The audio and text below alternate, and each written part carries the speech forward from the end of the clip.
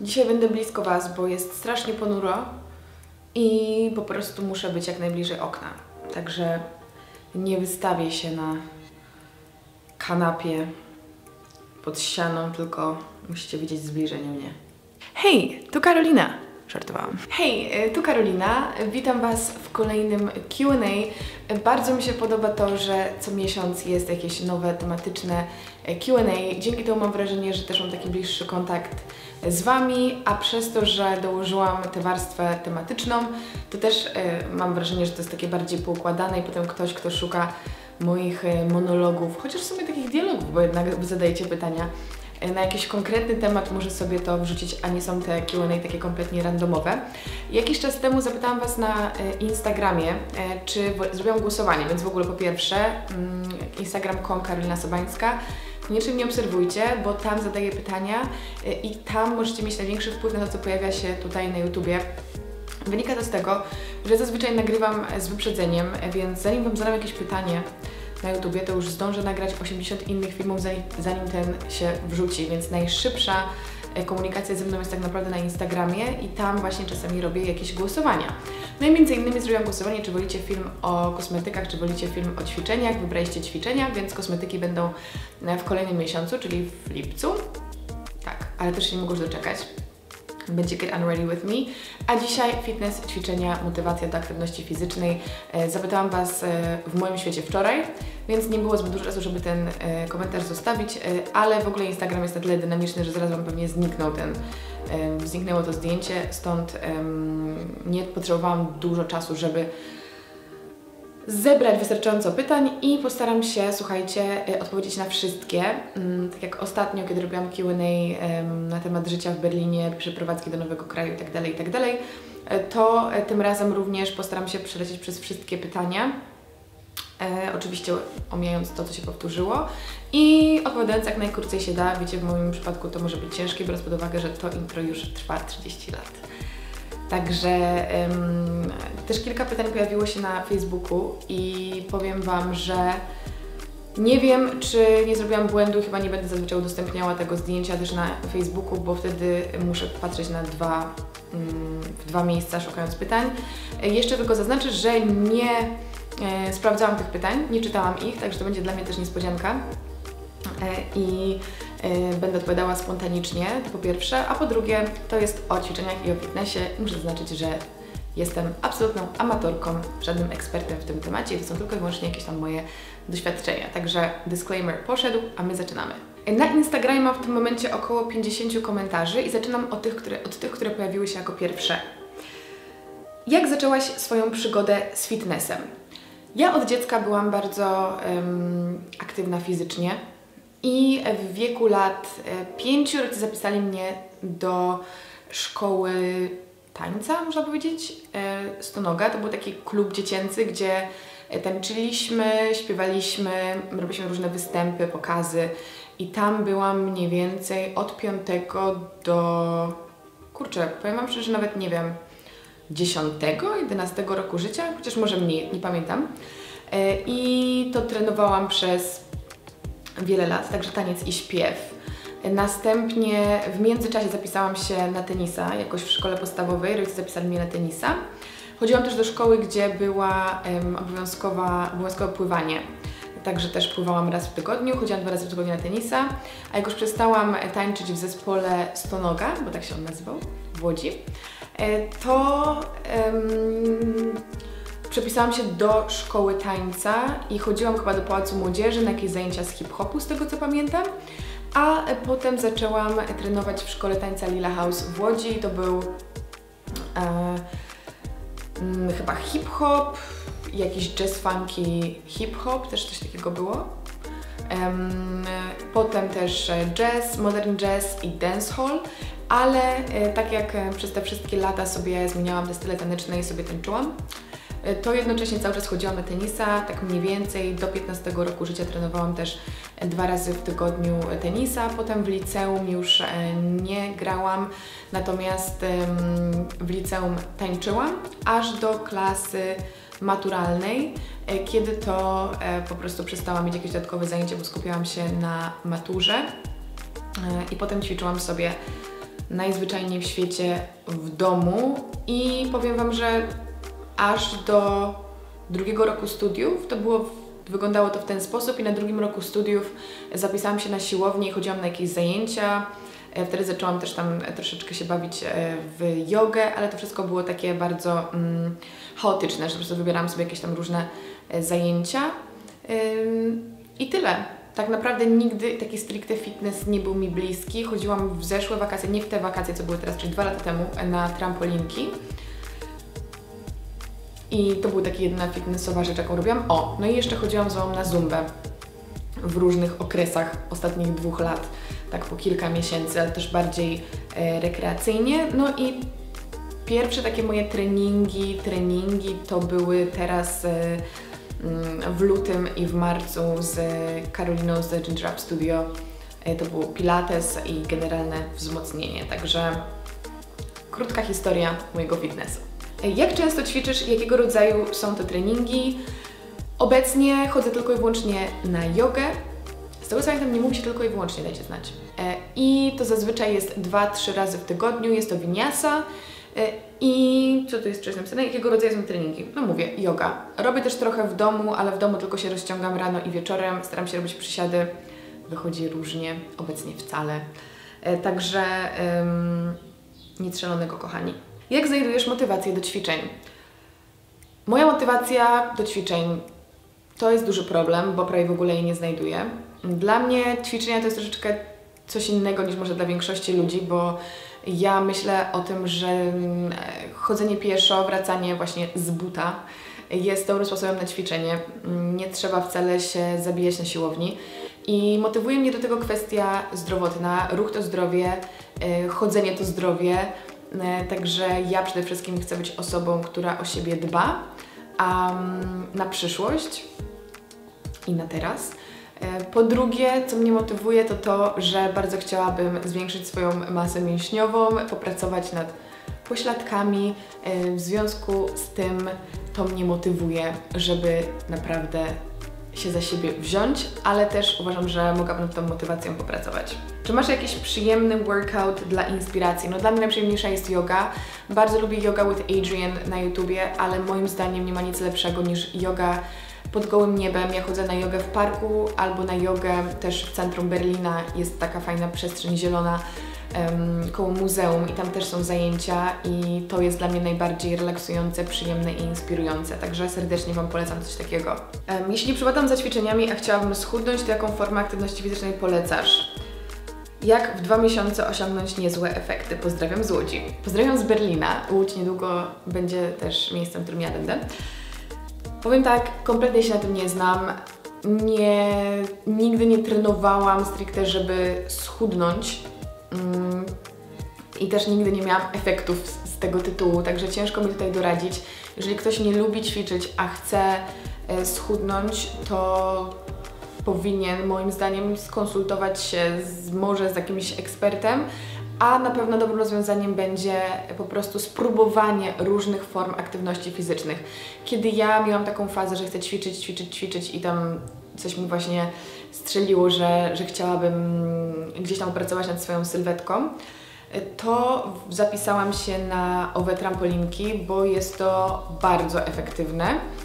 W kontekście takim, że to jest mega intensywne, spala się mnóstwo kalorii i bardzo dobre ponoć przynosi efekty, ale z tego co słyszałam nie jest najlepszy naszych stawów. Także nie jestem szczególnie przekonana, ale na pewno ja no, czułam się świetnie po takim treningu pod względem tego, że naprawdę było intensywne i też mi nie przeszkadzało, bo nie miałam czasu się zastanowić nad tym, że jest mi źle i mi się nie chce. Najgorzej było w sumie wyjść z domu, ale sam trening był na tyle absorbujący, że dało się to przeżyć. Natomiast um, myślę, że wszelkiego rodzaju cardio są najlepsze na schudnięcie, ale tak jak mówię, jeżeli sprawia Ci to frajdę, no to ciężko mi stwierdzić, co mogło Ci co mogłoby Ci ją sprawić. Ja trenowałam też przed studniówką, żeby trochę zrzucić, nie wiem z czego, też głupoty takie się miało w głowie. To trenowałam z Chodakowską, ale czy mi to sprawiało przyjemność? Niekoniecznie. E, czy widzisz jakieś zmiany w swoim organizmie od kiedy ćwiczysz jogę? E, widzę przede wszystkim zmiany psychiczne, to brzmi dziwnie. E, widzę zmiany mentalne, czuję się o wiele lepiej, przede wszystkim jestem też bardziej rozciągnięta i widzę progres przy każdych zajęciach, że te pozycje są pogłębione, jest mi o wiele łatwiej je wykonywać. Także dla mnie yoga jest absolutnie niezastąpiona. I też nakręca w kontekście takim, że chcę robić więcej i chcę umieć wykonywać nowe pozycje i to mnie się bardzo podoba, bo ja rzadko właśnie mam taką jakąś motywację, żeby oćwiczyć więcej, to się nie zdarza. Także pewno rozciągnięcie, też postawa, bo bardzo zależało mi, żeby popracować nad swoimi, nad, nad, e, nad ramionami, bo um, strasznie zaczęłam się garbić, słuchajcie, że tak trzymałam ramiona do przodu um, od siedzenia przy komputerze na studiach ostatnich miesiącach i teraz czuję, że na pewno te ramiona są bardziej otwarte. Także to jest na pewno duża zmiana. No i też mam problemy z, e, z kręgosłupem i myślę, że yoga jest tutaj niezastąpiona. Wolisz ćwiczyć w domu czy na siłowni na zewnątrz? Zdecydowanie na zewnątrz, tak jak mówiłam, pod gołym niebem, e, ewentualnie na siłowni ale chodząc na zajęcia. U mnie ćwiczenie w domu się praktycznie wcale nie sprawdza, kiedyś byłam w tym dobra. Teraz absolutnie mnie to nie motywuje, najlepiej e, w plenerze e, lub pójście na zajęcia w grupie, bo wtedy mnie motywuje bardzo sam fakt, że po pierwsze jest zapłacone, zaplanowane i że jest tam jakaś grupa ludzi, którzy um, dodają tego takiego tej takiej mini rywalizacji, że przecież nie poddam się, bo są tutaj inni ludzie, to raz. Dwa, też jeżeli się umówisz na przykład z jakimś znajomym czy znajomą na ćwiczenie, to jest e, to o wiele bardziej motywujące, przynajmniej dla mnie. Wolisz ćwiczyć rano czy wieczorem? Jako, że u mnie ćwiczenia um, to jest problem i tak jak mówię, ciężko mi się zmotywować. Najlepiej bym wstała rano, poćwiczyła i miała to z głowy, ale z uwagi na to, że moje zajęcia e, jogi są po południu, to ćwiczę po południu, ale zupełnie mi to nie przeszkadza. Po pierwsze, bo e, po zjedzeniu na przykład obiadu potem sobie idę na jogę, która jest dosyć spokojna e, i też jakby nie zalegam już w mieszkaniu, jeżeli dobrze mnie rozumiecie, że wiecie, najecie się i tak leżycie sobie w łóżku, że Wam się nie chce, tylko zbieram się jednak i, i, i trochę ruszam te stare kości. E, I też sam fakt, że to jest pod gołym niebem przy zachodzącym słońcu, moim zdaniem jest bardzo, bardzo przyjemny. Także w idealnym świecie w sumie pora, e, o poranku, żeby mieć to z głowy, ale teraz ćwiczę wieczorami i bardzo mi to odpowiada. E, wynika to też z tego, że jestem sama, więc nie mam jakby planów na wieczór.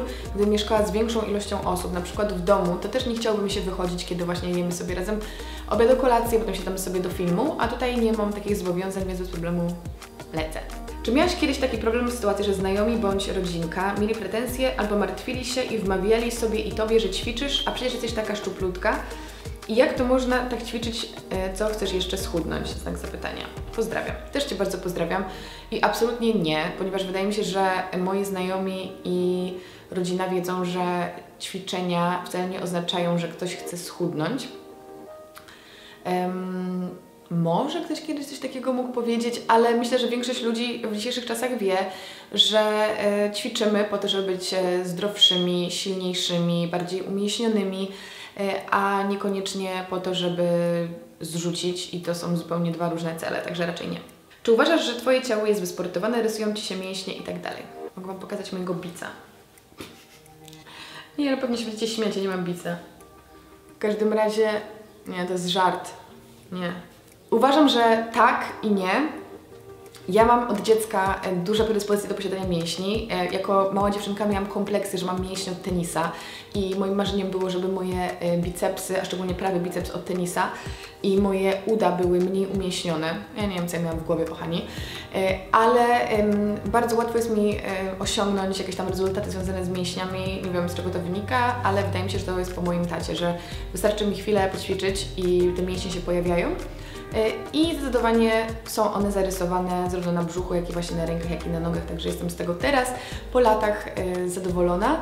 E, ale czy uważam siebie za bardzo wysportowaną? Uważam, że mam potencjał, ale że zdecydowanie długa droga przede mną i bardzo chciałabym poprawić stan mojego składu mięśni w ciele. Czy jesteś bardzo rozciągnięta? I tak i nie. Tak jak mówię, mam jakąś taką łatwość rozciągania, że potrafię nie rozciągać się wcale i nagle zrobić jakiś skłon po prostu pod ziemię. Y, ale przez to, że mam problemy z plecami, to jest skolioza, e, to ten odcinek właśnie dolny pleców jest kompletnie rozciągnięty i przez lata nie mogłam usiąść, słuchajcie, w siedzie prostym przy ścianie z wyprostowanymi e, plecami. Teraz dzięki jodze nad tym pracuję, ale um, jestem naturalnie dosyć rozciągnięta, ale zdecydowanie nie, znaczy powinnam o wiele więcej jeszcze włożyć pracy własnej, e, szczególnie właśnie jeżeli chodzi o e, tylne mięśnie nóg i plecy. Druga część pytania, czy masz jakieś sprawdzone programy na YouTubie e, na rozciąganie? Nie, ale yoga zawsze jest spoko, mówię, yoga with Adrian jest najlepsza. Jaki jest Twój ulubiony rodzaj jogi? Jeszcze nie wiem. Jest bardzo dużo rodzajów jogi i chciałabym odkryć wszystkie. E, Obecnie ćwiczę winiasę, którą bardzo, bardzo lubię, ale też ćwiczyłam kiedyś hatę, hatę, hata, ekspert jak widać. I podobało mi się, przynajmniej w tych zajęciach, na których ja byłam. Ym, o, właśnie włączył mi się budzik. Och, kochana, za wcześnie. Znaczy, co ja gadam? Zgubiłam się. A, ale bardzo chciałabym spróbować e, asztangę i akrojogę. Bardzo, bardzo. Dajcie znać, czy ym, trenujecie któryś z tych styli. Czy trenowałaś coś w dzieciństwie? Już odpowiedziałam. Także taniec, pływanie, no powiedzmy tenis. Zapomniałam, zapomniałam, słuchajcie, że w piątej i szóstej klasie podstawówki byłam w szkolnej drużynie mini siatkówki i nawet zajęłyśmy pierwsze miejsce w Łodzi i trzecie miejsce w województwie. I byłam nawet w pierwszym składzie. To były czasy. Czy chciałabyś rozpocząć trenowanie jakiegoś sportu innego niż yoga? Hmm, hmm, hmm. Myślałam kiedyś o boksie, bo jest całkiem popularny i byłam na jednych zajęciach i wydaje mi się, że to jest dobry sposób, żeby tak się wyżyć. Chciałabym przekonać się do biegania, bo tyle osób to zachwala, że czuję, że musi coś w tym być. I teraz muszę się zastanowić. Wrócić do tańca. Też bym bardzo chętnie chciała wrócić do tańca.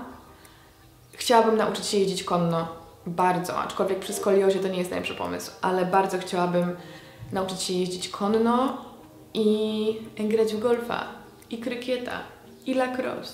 E, Jak rozpoczęłaś przygodę z jogą? Czy stanowi to dla Ciebie tylko aktywność fizyczną, czy skupiasz się również na jej duchowym charakterze? E, Moja przygoda z jogą zaczęła się w domu, gdzieś tam jakieś pierwsze kroki, ale zapisałam się na pierwszym roku studiów na moją uczelnię na yoga i to była niesamowita, to była hatha yoga z niesamowitą instruktorką, naprawdę to sprawiło, że ja się zakochałam w jodze. Po pół roku przestałam chodzić, potem poszłam parę razy na inne zajęcia właśnie u mnie na uczelni, ale to już były takie mega właśnie fitnessowo-wysiłkowe, to mi się zupełnie nie podobało. Potem chodziłam na siłownię też w drugim semestrze pierwszego roku i tam też dziewczyna była bardzo nastawiona po prostu na fitness i nie było tej części duchowej. I tutaj odpowiadam właśnie na drugą część pytania. Zdecydowanie dla mnie część duchowa jest ważna, ważna jest dla mnie praca z oddechem, medytacja, ym, shavasana, a jeżeli tego nie ma, to ja jestem rozczarowana. E, Także ym, następnie trochę ćwiczyłam znowu jogi w domu. Na drugim roku studiów czasem chodziłam na zajęcia typu body balance albo PIO, czyli pilates yoga, ale to było takie muśnięcie. A teraz e, od e, tego semestru no, yoga jest ze mną co tydzień, kilka razy w tygodniu i zdecydowanie jest też ten, ta część e, duchowa. Jak bardzo zmieniło się Twoje ciało po przejściu na dietę roślinną? Nie powiem, żeby się jakoś szczególnie zmieniło. Nie zauważyłam żadnych radykalnych przemian, chudnięć, tyć, nie wiem, wyprysków, oczyszczeń. W sumie nie było jakiejś wielkiej, wielkiego kontrastu. Jaka jest Twoja ulubiona forma aktywności fizycznej? Mm, yoga, spacery i tenis oraz jazda na nartach. E, Co chciałabyś w swojej obecnej sylwetce zmienić, nad czym pracujesz? Zdecydowanie chciałabym być bardziej rozciągnięta. To jest numer jeden. Numer dwa, pośladki. I jak to się stanie, będę zadowolona. Jak prezentuje się Twoja kondycja? Całkiem dobrze chyba, ale powiem Wam, że teraz mieszkam na parterze, nie wchodzę po schodach, więc nie wiem, się okaże, że będę do domu i będę mogła wejść na górę i będę dostawała zadyszki, ale zazwyczaj mam też tak, że nawet jak nie, nie, nie pracuję nad żadnym cardio, kondycją, to jestem w całkiem dobrej formie. Tak jak mówię, jakoś po prostu od dziecka mam predyspozycję do aktywności fizycznej. Kto jest Twoją największą inspiracją w świecie fitnessu? Szczerze, nie wiem i nie mam, nigdy nie miałam żadnych em, autorytetów fitnessowych, także wybaczcie. Jakie polecasz kanały na YouTube związane z ćwiczeniami? Na pewno Yoga with Adrian i słyszałam wspaniałe rzeczy z, na temat Basi Tworek. Nie próbowałam, ale wiele osób na pewno w Polsce poleca. I no mnie przed studniówką Ewa Chodakowska bardzo pomogła, także jest to skuteczny program. Na jakiej partii ciała skupiasz się najczęściej podczas ćwiczeń? Jeżeli jest to yoga, to jest to całe ciało, jeżeli ćwiczę sama, to pośladki. Motyw przewodni tego filmu. Opowiedz trochę o tym, jak doszłaś do tego, że lepiej ćwiczyć to, co się lubi i być po prostu e, aktywnym, a nie katować się na siłowni ćwiczeniami, których się nie lubi. Myślę, że sporo osób może mieć z tym problem i źle postrzegać aktywność fizyczną jako coś wymuszonego. Jak ja do tego doszłam? Doszłam do tego w ten sposób, że nie byłam w stanie się po prostu zmusić do ćwiczeń.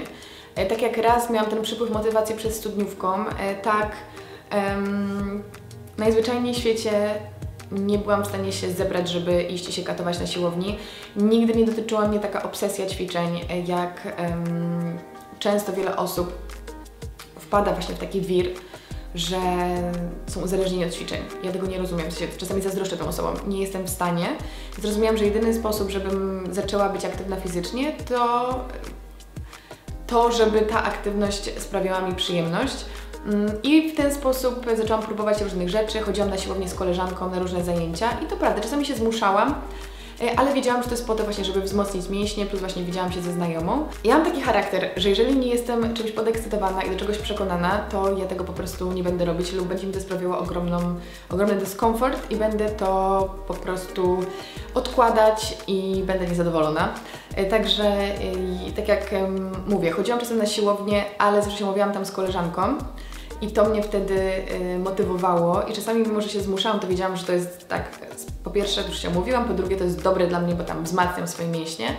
E, tak, kiedy jestem sama, zrozumiałam, że ja muszę być podekscytowana na dany trening. I to znalazłam właśnie w jodze, ewentualnie w tenisie, gdzie na przykład chodziłam tenisa z moim tatą, wtedy też to mnie jakoś e, motywowało, ale wiadomo, że też bardzo często jest mi ciężko wyjść z domu. Ale już jak e, robię te ćwiczenia, to one sprawiają mi frajdę ja wyznaję taką zasadę, że ja ćwiczę dlatego, że chcę być zdrowa i chcę to robić do końca życia. To nie jest tak, że ćwiczę teraz, ponieważ chcę osiągnąć jakiś rezultat i, mieć, i odpuścić, tylko wiem, że zdrowy człowiek ćwiczy regularnie. Stąd bardzo istotne jest, żeby znaleźć ćwiczenia, które mogą do końca życia sprawiać nam e, przyjemność, a nie będą jakimś tam przykrym obowiązkiem. Wiadomo, jeżeli mamy jakieś konkretne mm, cele typu redukcja albo pracujemy nad konkretną partią ciała, to też może mm, czasami to się e, zmusić, jeżeli bardzo nam zależy na tych celach i to one będą motywacją. Przez to to już nie będzie wymuszone, ale jeżeli robimy to przede wszystkim dla zdrowia, to po prostu szukajcie, próbujcie, bo inaczej nie ma co szkoda robić, poświęcać tyle czasu w tygodniu na coś, czego nie lubimy. To nie ma być kara, tylko to ma być docenienie naszego ciała, to ma być pielęgnowanie naszego ciała. Ten film jest tak długi, że mam szczerą nadzieję, że teraz pytania się będą powtarzały. Karolina pyta, za co lubisz Pilates? Lubię Pilates dzięki Ginger Up Studio w Łodzi. Czy ćwiczyłaś zestawy chodakowskiej i jeśli tak, to jakie są Twoje wrażenia? Mam na myśli poziom trudności i efekty widoczne na ciele. Tak jak wspomniałam, przed studniówką katowałam się Ewą Chodakowską, robiłam ćwiczenia z nią codziennie, e, przez jakiś miesiąc myślę. E, I po pierwsze robiłam głównie skalpel, czasem killera, tak powiedzmy 1 do 5. I efekty były naprawdę widoczne. Nie pamiętam jak to było, jeżeli chodzi o mięśnie, ale na pewno zrzuciłam przed studniówką. Też starałam się jeść, e, nie obżerać, nie chodziłam głodna, ale starałam się ograniczać e, porcje i na pewno są to mega efektywne ćwiczenia. Od czego zacząć, jeśli chce się schudnąć? Przede wszystkim przejście na zdrowy styl życia, który e, zostanie z nami na zawsze, a nie jako krótkoterminowe rozwiązanie. Ile czasu zazwyczaj trwa Twój trening? E, moja yoga trwa godzinę, z czego mniej więcej 5 minut jest na początek takiej medytacji i około 5 minut shavasany na koniec, czyli też takiej można być medytacji odpoczynku. Mm, czy Twoje ćwiczenia są bardziej cardio czy siłowe? E, zdecydowanie żadna z tych rzeczy bardziej siłowe niż cardio, jeżeli chodzi o jogę. Ale no to jest jakby... Yoga to osobny, osobna dziedzina, ale no siłowe bardziej wzmacniające, tak. Hmm. Czy myślałaś kiedyś o uprawianiu jakiejś dyscypliny zawodowej? Jeśli tak, to co to by było? Zdecydowanie nie. Jestem przeciwniczką sportów zawodowych, w sensie jeżeli ktoś chce to robić, absolutnie nie mam nic do tego. Ale ja e, bardzo podziwiam takie osoby, uważam, że jest to wielkie wyrzeczenie i nigdy nie chciałam tego robić. Aczkolwiek właśnie mi się przypomniało, że jak miałam 5 i 6 lat, to trenowałam łyżwiarstwo figurowe. Teraz ten film to jest jakieś odkrycie Karoliny po prostu. Trenowałam łyżwiarstwo figurowe i dostałam propozycję, żeby iść do szkoły podstawowej z jazdą figurową na lodzie. Byłam bardzo podekscytowana, ale moi rodzice powiedzieli, że to nie jest dobry pomysł i bardzo za to dziękuję. W jaki sposób rozróżniasz motywowanie siebie do aktywności fizycznej od zmuszenia się do niej w niezdrowy sposób? Gdzie jest ta granica? Tak jak mówię, jeżeli ćwiczenie sprawia nam frajdę, jeżeli nie robimy sobie krzywdy, jeżeli nie czujemy się przemęczeni i nie po prostu robimy tego w bólach, to myślę, że jest ok. Ja nigdy nie przekroczałam tej granicy, ja tego nie rozumiem i się z tym nie umiem utożsamić, więc też nie mogę za bardzo dać rady. Jak wygląda Twoja aktywność w dniach, kiedy nie wykonujesz typowego treningu? No, u mnie typowy trening to jest ewentualnie yoga, więc typowo rano się rozciągam i dużo chodzę w ciągu dnia, staram się unikać transportu publicznego i po prostu sobie spacerować, wracać pieszo i tak dalej. Natomiast wieczorem rozciągam się, to trwa może 3 minuty, naprawdę. I czasem robię przysiady e, i to było na tyle. Czy ćwiczyłaś kiedyś z Melbi? Jeśli tak, to co myślisz o jej treningach? Tak, robiłam kiedyś Melbi. Robiłam z nią jakieś pośladki i robiłam z nią chyba rozgrzewki i coś jeszcze, brzuch. I były spoko, ale mówię, fitness mnie nie kręci. Miałaś kiedyś taki pomysł, żeby wziąć udział w biegu ulicznym. E, tak jak mówiłam, nie cierpię biegać, kropka, e, ale ostatnio gdzieś chodzi mi po głowie spróbowanie ponownie, bo kiedyś trochę biegałam, e, bo czuję, że może, może warto się do tego przekonać, może gdzieś tam jest nadzieja, że to jednak jest coś dla mnie. Także na pewno, jeżeli zacznę biegać, to chętnie pobiegnę, bo myślę, że jest to niesamowicie ym, przyjemna atmosfera, a ja lubię rywalizację.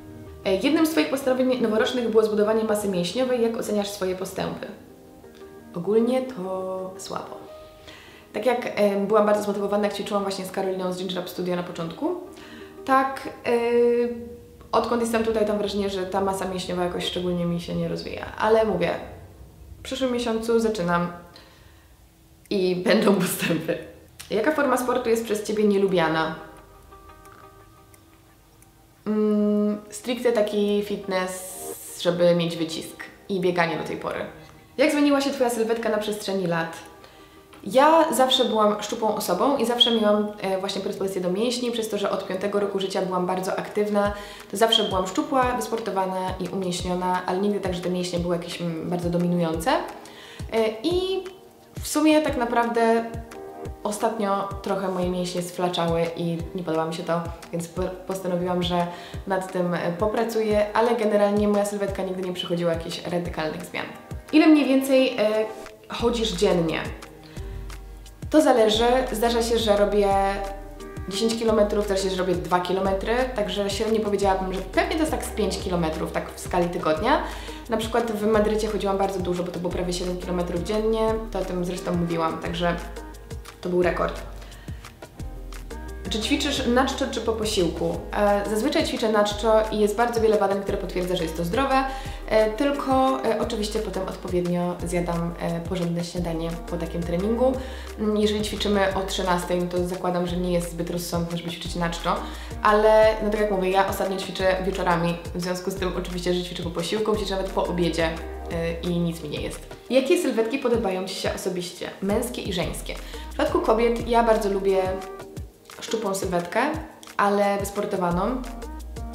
Ale niestety, niestety, niestety, od lat zawsze podobały mi się chude osoby, ale takie, które mają, które są wysportowane, które mają ładne pośladki, które mają też um, jakieś tam kobiece kształty, e, ale raczej zawsze był ten model taki, taki chudy u mnie w takim kanonie i u mężczyzn to samo. Bardzo lubię chudych mężczyzn, którzy są wysportowani. To się nie chudych, patyczakowatych, tylko bardzo szczupłych, ale bardzo ładnie zbudowanych. Nie lubię ani takich byczków, ani flaków, tylko no, nie wiem, czy ta odpowiedź w ogóle jest spoko. Jaka partia ciała od zawsze przysparzała Ci problemy? Nie wiem w jakim kontekście. Zupełnie nie wiem w jakim kontekście. W sensie, czy to jest o kompleksy, czy to jest o ćwiczenia. Jeżeli chodzi o ćwiczenia, to nie wiem, zawsze chciałam mieć szczuplejsze uda. W ogóle nie wiem skąd ja miałam ten pomysł. Teraz jak o tym słyszę, to pff, albo mniejsze mięśnie na rękach, więc w ogóle nie słuchajcie mnie serio. A, ale taki najnowszy problem, z którym niby, który niby miałam jakieś dwa lata temu, to chciałam mieć e, mniejsze boczki, których w ogóle nie miałam. Więc mówię Wam, kobiety są straszne, naprawdę my się katujemy. Czy zdarzały Ci się kontuzje? Jeśli tak, to jak radziłaś sobie z pogodzeniem ćwiczeń i regeneracji? Powiem Wam, że przy dancehallu zdarzyło mi się problemy z kolanami, bo było dużo zejść właśnie na ziemię i e, zaczęły mnie boleć kolana i wtedy trochę odpuściłam.